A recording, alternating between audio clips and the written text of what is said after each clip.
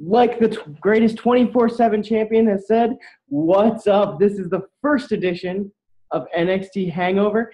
It's It kind of works out. Second biggest show of the year, SummerSlam, and we're debuting our second show on the Jobber Knocker Network.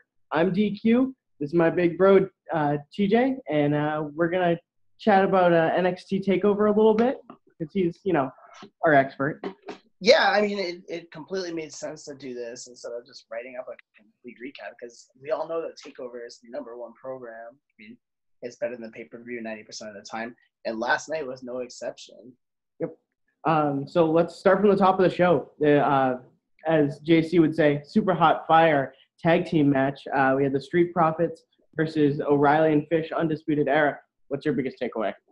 Um, I mean, right off the bat, I mean, the the Street Profits jumped out wearing Raptors uniforms, like throwbacks. like I was like, that's really awesome. But it was a really, it had a slow start to it, but it really picked up and turned mm-hmm. out to mm-hmm. be an outstanding matchup. Um, Montez Ford was really, he was, you know, pretending to be the Rock for the beginning. So he did the, or he tried for the people's elbow, land a rock bottom at one point. Uh, but it was an outstanding match overall. I was really shocked at the finish though. Definitely thought that the Undisputed Era was going to walk away with that, but it set the pace for the rest of the night, really. My my biggest takeaway, and it might be because I'm kind of on and off with NXT. Um, Angelo Dawkins the beast. Yeah, um, I, feel, I feel like he's the forgotten man in that team, but he he he towered over friggin' O'Reilly and Fish, which they're not the, guys, but he's he, he was huge. That and I mean, he's not really known like he's not the athlete in that in that mm-hmm. team by any means. Um, but he definitely rocked it. I mean, he nailed a couple of huge spears. Um, he had he had the big comeback that led up to Montez Ford getting the tag to get the win too.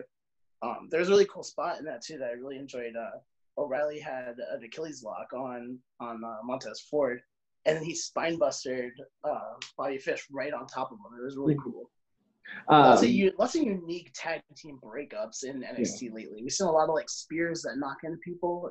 It's pretty exciting. I love the uh, I love the this was it the Dragon Sleeper into the Blockbuster. Yeah, O'Reilly had him in the and uh, Dawkins in the in the uh, Dragon Sleeper, and oh, it was it was beautiful. Yeah, but then I mean that match really started off because you're the whole time we were thinking that the undisputed era would be draped in gold by the end of the night. and the first match, they're not like you realize it's not going to happen. So at that point, I you know I doubted if even Adam Cole was going to walk away with a victory. Right. Um, cool. So next up was what I thought was the steal the show, the best match of the night was Io Shirai versus Candice LeRae. I love heel Io. Heel Io. I mean, it's everything it's, from the, it's the great. entrance to the the lighting to just the black and white. Outstanding about it. Like yeah. she is something else. This was, you know, I used the coming out party for Monta or uh, Angelo Dawkins. Like this was Io heel heel Io's big sign. I mean, uh, it's it's a move that's done quite a bit now, but the avalanche Spanish fly was unreal. She got crazy height, and I mean, give credit to Candice LeRae too, because that's that's got to be a, a tough move to do. I mean, we yeah. saw Sin Cara blow it a bazillion times when he started. yeah, don't start with that. Um, but I mean, it was Candice LeRae's first big match too. I mean, Io's been on the takeover scene. Uh, mm-hmm. Candice has only done a couple of the pre-shows that end up on NXT TV but this was a big match for her. And the thing that got me that I was really excited, and I've said it on Twitter a bunch of times, uh, the wives of wrestlers usually get cheers. So we hear a lot of Candice wrestling. Mm-hmm. We hear uh, the poor uh, Deonna Purrazzo gets the woo woo chants from uh, the villain Marty Scurll. This one was Candice's match. Like it was all about Candice. They were chanting Candice. Like it was a great match for her. Um, it got a lot of uh, it got a, a couple of this is awesome chants, a couple of Mamma Mia chants. Um, it was definitely if you don't like near falls, like this was not a match for you by any means. but it was a match like I stood up and clapped. My wife's like, "What are you doing?" Like this was outstanding. Like this was the match of the night. Like and I tweeted, I knew a Gargano was going to be the number one match of my night, but I did not think it would be Candice. Go ahead. Yeah. Uh, next up was a really know uh, messy brawl with Killian Dain and Matt Riddle. Really oh, didn't yeah. do anything for me. Like, bro, we'll see where that. bro. I don't know. We're recording this while but, doing but, but, by the way, out, uh... did you see Matt Riddle in Mia Yim's entrance? no, I didn't. Yeah, you can see he's not wearing shoes. It's fantastic. I'll have to take a look at that one.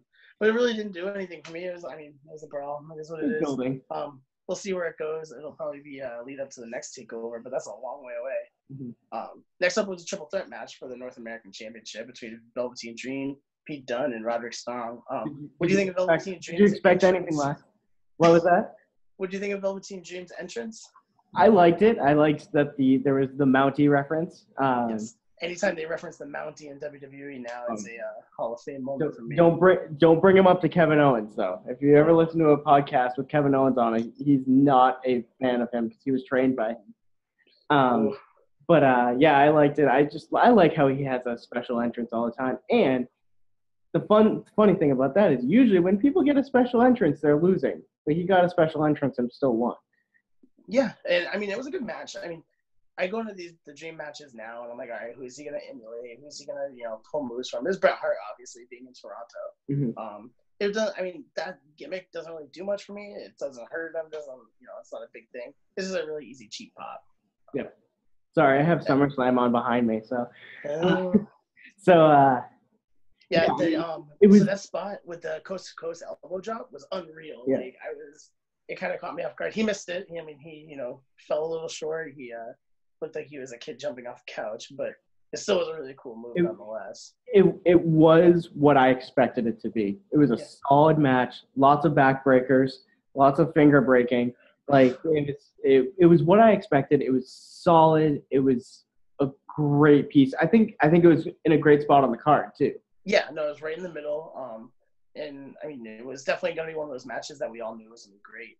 Um, Mhm. what do you think about the Dream of stopping the three count by grabbing the ref's hand? Because uh, love- Meltzer was on uh, Twitter trashing it. I I always like when people do different things to break up the to break it up. I mean, the the jumping in and, and interrupting is kind of it's It's overdone. everybody does it. Yeah. So I mean, I just thought I I thought stopping the arm was a cool thing. Like I I don't know. I can't. I don't remember seeing it. I'm sure Nessel will I- correct me and give me some stat. But I like I liken it to uh, Kevin Owens getting the uh, ring break at the WrestleMania we went to. with one pinky, Yeah. one finger, one finger on the rope. Um, but yeah, no, I, I I like the way that Dream won it. He just you know nailed a elbow drop out of nowhere. Um, Right. sometimes when that happens, it's kind of like where the hell did that happen? But he came out of nowhere and got the win. So next up was the controversial match. That a lot of people really did not like this one. is a Shayna Baszler versus Mia Yim. What are your Um. I think in our private conversation between all the jobber knocker people, I think I think it was JC that said that the botch kind of took everybody out of it, and they were kind of it was kind of unreasonable. I thought the match was really good storytelling, and I I, I say it all the time. Shayna Baszler is probably one of the best talents in NXT right now, and um, I mean you're gonna you look at Gargano and and Undisputed Era, but Shayna's right up there, and she- I I didn't like her in the Mae Young Classic because I thought they were kind of shoving her down our throats because she was Ronda's buddy. But like she's proven time and time again that she can put together solid matches, and I love that it's it's her finisher has pretty much become like the RKO, just like out of nowhere, which is fantastic. Yeah, no, definitely. I think one thing that I thought like, you mentioned it, like the storytelling in it was really good. Um, I think Mia Yim was showing that she would do whatever it takes. I mean, she took out the other horsewomen. She was, I at one point, she was grabbing hair and fish hooking and doing some heel tactics as a face, which I thought was really interesting. But uh, I mean, again, that botch in the middle really took it out. And if you look at the way the card was, I mean, the first three matches were like real. I think on Twitter, JC was flaming them. He had them all at like four or five flame matches. Yeah. So I mean, something is you're doomed from the beginning at that point. Um, Right. And, And I- and, in a, an event like this too, you know, you got five matches, you know, three matches and then a women's match, and then a match you know is going to be an hour long. hmm Um, a lot of the crowd was really out of it, and it was really quiet. Yeah, I, I, I think it. I think Shayna Baszler's reign has got, kind of been snake bitten. Like they've been having consistently good matches, and uh, and then the, they just get sandwiched in between two great matches. So it makes it look really, really, really bad in comparison. Yeah, I mean, I can agree with that. I think her reign has been outstanding, so we'll see how you know the rest goes. I don't know who's up next. I mean, it could be heel versus heel with Io and Shayna. Yeah. Um, and I don't see Candice and Io being done though. I have a feeling uh, Candice and Io are going to be like Ciampa and Gargano. I think it's Oh. going to be for a couple shows. I mean, you have such a deep roster down there right now. You have so many people that they haven't used yet. Like you referenced Deanna Perez- Purrazzo earlier. Like she has, she hasn't been on TV yet. Yep, Chelsea Green is coming Chelsea back. Green, yeah. I mean, there is a Mae Young Classic coming up, so you know Yep. we can see all these people come out. Um, so now we're up to the main event: uh, Adam Cole versus Johnny Gargano, part three. All right, let's go. Let's go first ball first. How did did you like it? Did you? I was kind of like, eh. And the first fall in the two out of three falls matches is always it's not I don't want to say slow, but it sets the pace. Like you know it's gonna pick up. We knew the second fall was gonna be a street fight, so like I was kind of not expecting much in the first fall. I did not think that Adam Cole was gonna win it by DQ though. That kind of threw me off. Yeah, well, I, it's funny. It play, it kind of looked like he didn't think that it was going to be a DQ either. So I kind of like the uh, the way that Johnny Gargano sold it though. He's like, oh well, like, and then he started wailing on him with the chair. I mean, my bad. Yeah, I mean, it was a cool thing. It was, it was good, you know, again, good storytelling and putting Johnny Gargano in a match that, yeah, he's Johnny Wrestling, but I think most people know him right now as the street fight guy. Like him and Ciampa really changed his style in that matter. Yeah. Um, second fall, obviously, like it. Street, street fight was what it was. Like you, you kind of expected it to be that way. I was I was surprised we didn't get undisputed era at all. Oh, one thing I completely, completely passed over, and I had in my notes was uh Adam Cole with a kick to the nuts. Oh yeah. I was like, he literally, like, I'm pretty sure he actually kicked him in the nuts. I was like, that was a pretty rough kick. Like, I'm pretty sure AJ Styles was uh, feeling it too. But yeah, street fight. I was surprised we didn't see anyone in the under, undisputed era. I think they're all crying in the back because they didn't win their matches. Um, but yeah, I mean, it was a street fight. There wasn't really a lot to it. And then uh, third fall, I think was kind of a what?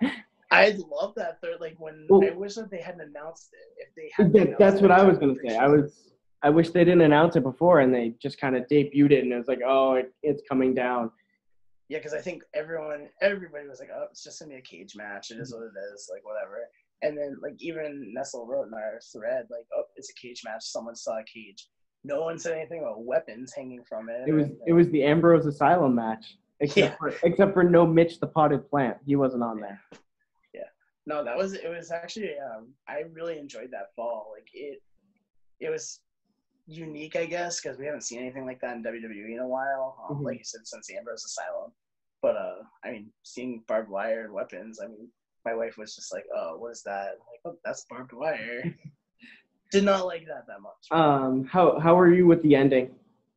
Um, I was okay with it. I think we knew we all knew Adam Cole was gonna win. Um, I don't know where Johnny Gargano is gonna go from here, so it'll be kind of interesting to see that. But um, I He- know He I- got the send off after, so Yeah, he did. Um, and you did mention uh, they did miss one of the tables. They had the two tables. Yeah. Definitely overshot it, but Yeah. um, still went through. Um, Adam Cole's back looked awful. Um, oh yeah, it looked terrible. But I mean, it was, I was okay with it. I thought um, both guys were really great. It was not the best out of their three matches by any means. Um, I actually thought out of the trilogy of matches, it was the, probably the worst out of all of them, to be honest. And that's coming from a huge Johnny Gargano Adam Cole fan. Um, what for me, it kind of brings up. All right, what's next for? Like you said, Gargano, but what's next for the title picture too? I mean, you have you have potential of like Keith Lee. You have some of the guys that are are just kind of biding their time. I mean, uh, Matt Riddle's obviously not going to be there because he's tangled up with Killian Dain, but um, there's a lot of potential there and a lot of excitement there. And I mean, what when is Yeah. it not exciting in NXT?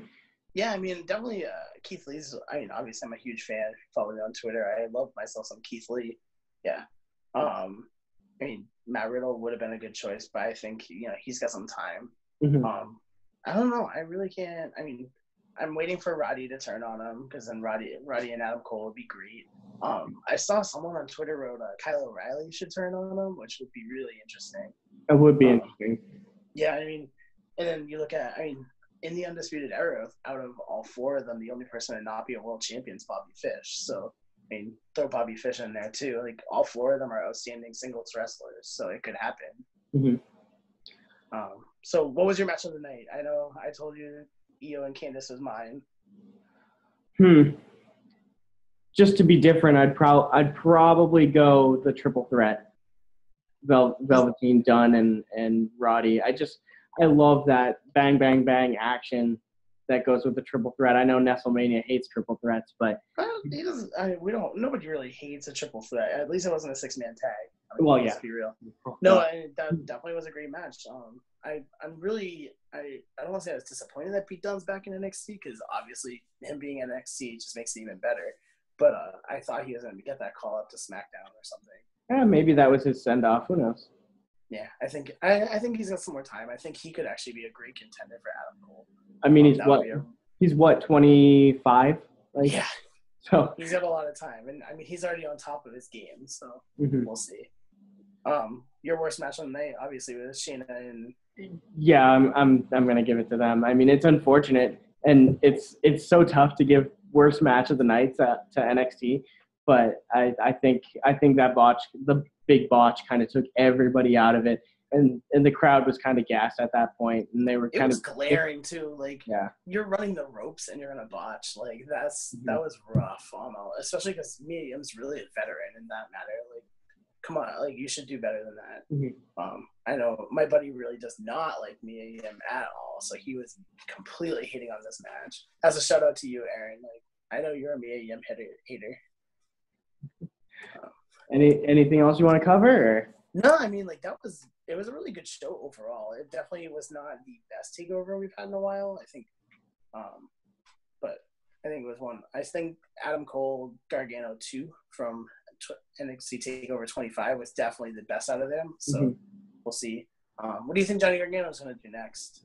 Um, you know what? It's it's kind of weird. Like before, I I was kind of thinking like, oh, he goes to 205 live, but now I'm kind of I'm kind of thinking he's he's going to 205 live. Unfortunately, but at the same time, I think it's kind of a good jumping off platform if he can be the face of that.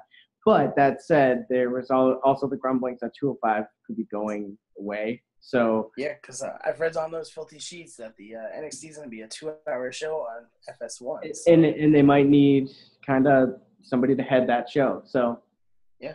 Um, what do you think about having two women's matches on the card? Because I, I, thought I think it's great. I mean, it's what I like about it, and it's it's kind of something that the um, like Becky, um, Sasha, Bayley, and Charlotte were saying is when you don't have to force it, and it's just organically there. Having two women's matches or a women's match in the main event, that's when you know that you've made it. Um, so I, I think it's great, and I think it's showing how strong the division is, how strong this women's evolution is. Um, I- I just I think I think they earned that spot and and they they delivered. Nope, I completely agree, and I think um, NXT does it right. They have during their um, storylines, they usually have two or three women's Hmm. lines going at one time. Usually, one's on Takeover, the other one's on the pre-show, so it ends up being on the Hangover episode of NXT. But uh, this time, they actually had three because they had the Vanessa Borne feud going on too. So Yeah. it's really interesting. Um, who do you think's next up for Baszler?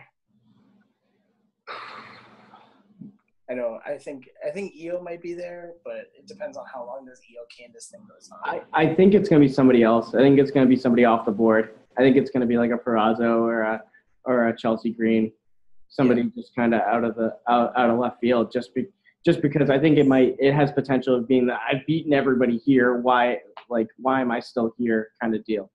Uh, Yeah, and then agree with when that. this music hits, boom, you're you get an automatic feud. awesome. Well, call it a day.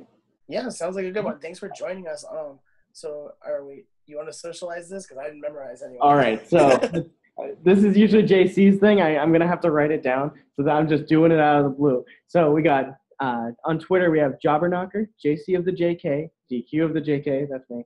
Um, Ray TJ Ray, JK. oh TJ of the JK, Ray Ray of the JK. What what's Joe's? Joe Pollock forty seven. Forty seven. and then there's the real deal B Cox and TV's Billy D, Billy D is his new is Billy's new Twitter handle. Um, Good job. Yeah, thanks. Good job.